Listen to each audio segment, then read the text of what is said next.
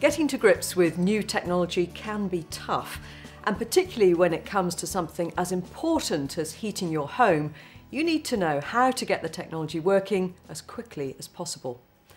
Printed instruction manuals are essential as a point of reference, but in the interest of getting your home nice and cosy without having to do your bedtime reading first, we want to show you quickly and simply how to operate your new system. With the Ecodan air source heat pump, you're now going to be using the heating system of the future, one that will help protect you from rising energy bills whilst providing all the heating and hot water your home needs. These short films are designed to give you all the information you need at the touch of a button. To get started, simply select the controller you have from the images below. This will either be one with a Mitsubishi Electric logo or a Danfoss logo. If you have a different controller to the one shown here, please contact your installer for operating instructions.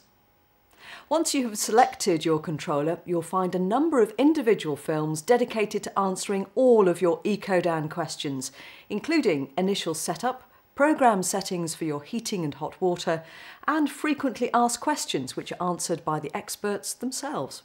So make a cup of tea, put the instruction manual down and your feet up, and let us take you through the simple steps to operating your new air source heat pump.